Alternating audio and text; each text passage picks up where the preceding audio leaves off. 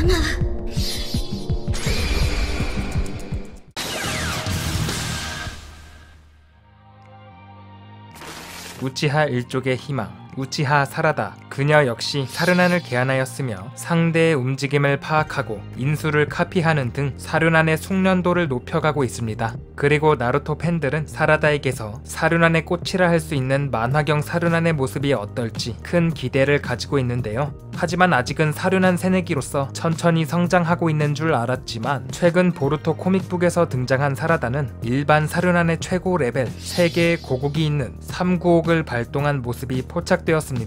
사르나는 보통 단구옥, 쌍구옥, 그리고 삼구한 순으로 진화하면서 능력이 더욱 강해지는 것으로 알려졌는데요. 나루토 질풍전 스토리에 들어서면서는 대부분 삼구옥의 사르난이었고 특수한 능력을 가진 만화경 사르난이 판을 치면서 점차 일반 사르난이 과소평가되는 경향이 있었지만 과거 종말의 계곡에서 나루토와 사스케가 싸웠을 때 사스케의 사르난이 쌍구옥에서 삼구옥이 되었고 구미의 힘을 사용한 나루토의 움직임을 파악하여 제압함으로 더욱 강해진 사스케의 모습을 보며 당시 시청자들은 흥미진진함을 감출 수 없었는데요. 최근 코믹북에 등장하고 있는 사라다 역시 그 시절의 사스케와 대등한 실력을 가지고 있을 수도 있겠습니다.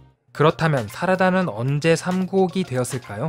사라다는 이전에 한 번도 본 적 없는 아버지 사스케와의 만남을 앞두고 눈물을 흘리며 사르난을 처음 개안했는데요. 그 후로 쭉 사라다의 사르난은 초기 단계인 단구옥의 상태였습니다. 최근 뜬금없이 등장한 사라다의 3구안 오게티가 아니라면 한 가지 추측을 할 수 있습니다. 보루토 코믹북의 내용은 애니보다 앞선 원작의 성격을 가지고 있고 애니메이션은 중간중간 코믹북에는 없는 추가 에피소드를 구성하고 있습니다. 이러한 점을 보아 사라다의 사르난이 쌍구옥, 3구옥으로 진화되는 과정은 만화책에는 생략되었고 애니메이션 에피소드에서 다루게 되지 않을까 예상됩니다. 혹시 애니에서도 안 다뤄주면 좀 그렇겠죠. 그 다음으로 사라다의 만화경 사르나는 언제 볼 수 있을까요? 만화경 사르나는 보통 사랑하는 사람의 죽음을 계기로 개안되었는데요. 사라다 역시 사랑하는 누군가를 잃게 된다면 개안이 되겠죠. 만약 그렇게 된다면 그 대상은 아버지인 사스케 혹은 어머니인 사쿠라가 되지 않을까 예상됩니다. 보 루토 전개 흐름상 동료를 잃게 만드는 것보다 부모의 죽음을 통해 극적인 연출을 할 가능성이 더 높아 보이는데요. 만화 초반에 보루토가 사스케의 유니폼을 입고 있는 모습에서 사스케가 미래에 죽게 될지도 모른다는 가능성을 암시하기도 했었는데 정말로 사스케가 죽게 된다면 그 순간이 사라다가 만화경 사르난을 개안하게 되는 때가 아닐까 예상됩니다. 어머니인 사쿠라 역시 위험에 놓일 수도 있겠습니다. 아직은 사라다가 만화경 사르난을 개안할 것이라는 확증은 없지만 이전 시리즈에서 도 사르난의 진화는 디지몬이나 포켓몬의 진화처럼 팬들에게 호기심과 설렘을 주었었는데요. 나루토 팬들은 다양한 사르난의 모습을 상상하며 기대를 품고 있습니다. 그 외에는 사스케의 눈을 이식받을지도 모른다는 의견도 있습니다. 지금까지 우치하 일족의 희망,